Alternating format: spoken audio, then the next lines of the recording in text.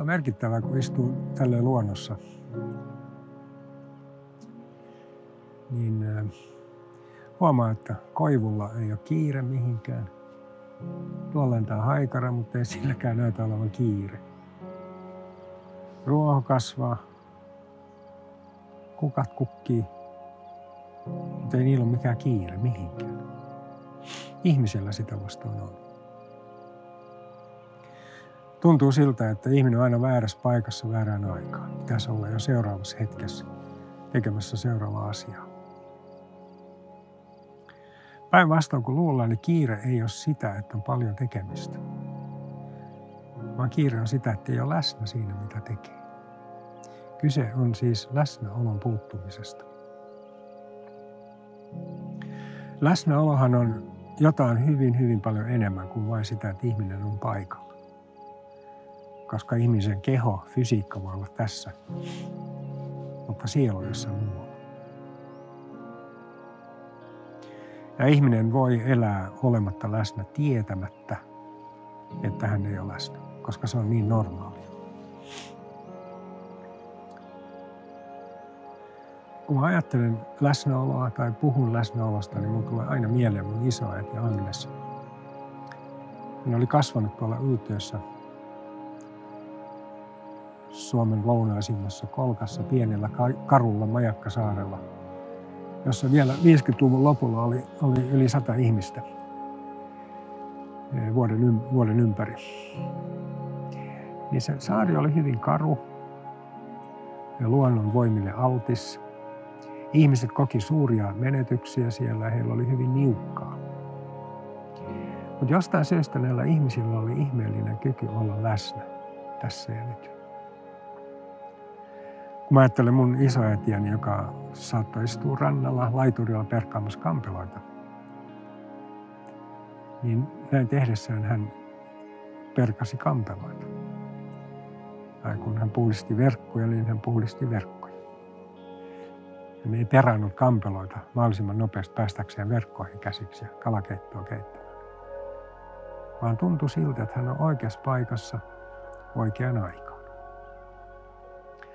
Olin silloin pieni, 8-9-vuotias, kun mä ensimmäisiä kertoja hänen mukanaan olin siellä uuteessa. Ja mä muistan sen isoäidin ihmeellisen kyvyn olla läsnä.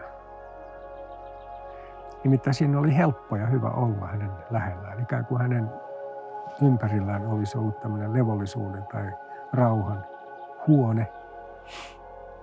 Ja se huonehan oli sitä, että hän, hänen läs, syvä läsnäolonsa levollisuutensa niin kuin resonoi minun läsnäolossa ja levollisuudessa. Ja tämä oli valtava kontrasti sille mun lapsuuden kodille, jossa mun vanhemmilla oli jatkuvasti joku hätä niitä koko ajan puuttui jotain. Siksi ne koko ajan ajo jotain takaa. Se oli aina joku ulkoinen menestys tai asia tai, omi, tai äh, tavara. Ja kun he jotain saavuttivat, niin kuin he usein tekivät, niin he eivät koskaan päässeet perille, vaan se, se, se ei sittenkään ollut se, mitä he kaipasivat. Niinpä he lähtivät ajamaan takaa uutta asiaa. Ja kun he sen saavuttivat, niin sama homma alkoi uudestaan. Miksi? No koska ihminen ei voi koskaan saada tarpeeksi sitä, mitä hän ei tarvitse. Isoäidillä oli hyvin vähän verrattuna mun vanhempiin, mutta hän, hän koki kiitollisuutta siitä, mitä hänellä oli. Ja se, että hän koki kiitollisuutta siitä, mitä hänellä oli, johtui tietysti siitä, että hän näki, hän fokusoi siihen, mitä hänellä oli, eikä siihen, mikä hänelle puuttuu. Siis hänellä ei ollut elämän suhteen vaatimuksia, vaan hän otti vastaan, hyväksyi ja koki kiitollisuutta siitä, mitä elämä hänen eteensä toi. Ja merkillistä oli, että isoäiti oli kokenut suuria menetyksiä ja hän eli niukkuudessa. Mutta koska hän oli kokenut suuria menetyksiä, niin hän ehkä juuri tämän takia näki, mitä hänellä oli.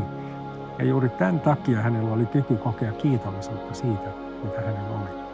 Ja tästä me päästään semmoiseen ihmeelliseen tosiasiaan, että kaikkein kiitollisin, kiitollisimpia ovat ihmiset yleensä, jotka ovat kaikkein eniten elämässä menettäneet, koska he näkevät, mitä heillä on.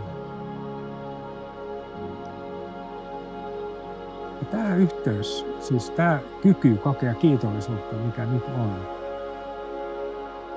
synnyttää kyvyn olla läsnä tässä hetkessä, koska tässä hetkessä ei ole mitään vikaa.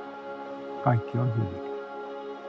Kaikki on hyvin siitä huolimatta, että tämä hetki kenties sisältää jotain vaikeuksia ja vastoinkäymisiä, jopa kärsimystä. Mutta kun ihminen ymmärtää, että kärsimys ei tule vahingoittamaan, vaan opettamaan, niin silloin ihminen nöyrtyy kärsiessään sen sijaan, että hän katkeroituisi. Ja kun ihminen nöyrtyy kärsiessään,